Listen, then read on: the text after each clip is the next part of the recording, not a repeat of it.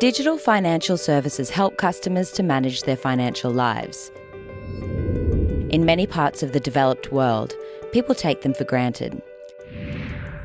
The ability to organise finances online or via a mobile phone is very convenient. But for the world's poor, access to digital financial services goes beyond convenience.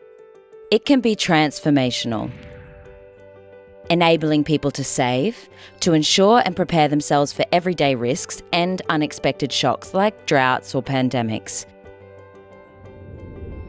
to better manage their finances and seize new opportunities to build financial health and resilience, improving lives and contributing to development. To make a payment in cash, you must hand it to someone in notes and coins. For people in rural areas, this can mean travelling long distances with significant costs for transportation and lost time. There's also safety concerns like theft. But digital payment methods allow them to send money to someone without leaving their home or workplace.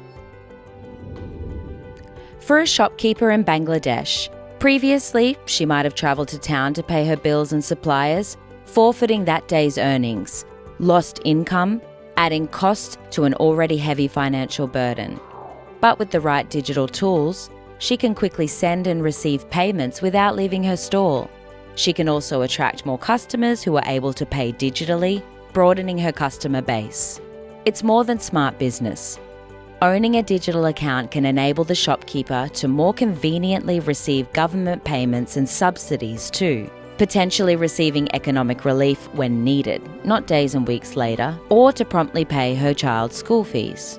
When people use digital financial services, the transactions tell a story and offer insights to financial services providers. This transactional data becomes the new collateral to access affordable credit. This is critical for those who traditionally do not have access to assets or collateral.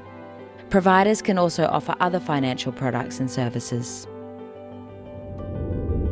In Nigeria, a smallholder farmer routinely buys jerry cans of kerosene to power his family's home. Small quantities cost more, but his meagre cash flow prevents anything else. Investing in a solar panel is also out of reach. Going digital enables a provider to offer a loan with affordable payments so the farmer can get the solar panel. After three months, instead of burning a dollar a day on kerosene, he repaid the loan. This gives the farmer an asset his electricity bill is reduced, and that money is channeled into savings. Insurance providers can also analyse repayment behaviour to offer products the farmer can understand, and with premiums suited to his cash flow. With insurance, he can be protected against crop failure and feel more secure to invest in the business, allowing it to grow. Or, if there is an unexpected illness, the farmer won't have to redirect savings meant for the business. He won't have to sell two prized cows to pay a doctor, and he won't have to deal with a loan shark. Key digital public goods have to be in place for digital financial services to truly help the poor. Along with a range of accessible and affordable products designed by the private sector that strengthen financial health and resilience, and laws and regulations that allow innovation and do not make entry too difficult.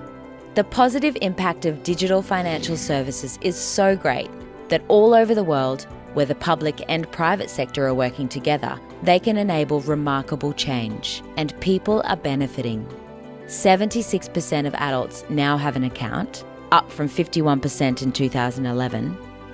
This is an incredible achievement that offers great hope to reach the remaining unserved. Through focus and partnership, country by country, we can continue to improve not only access and usage, but quality.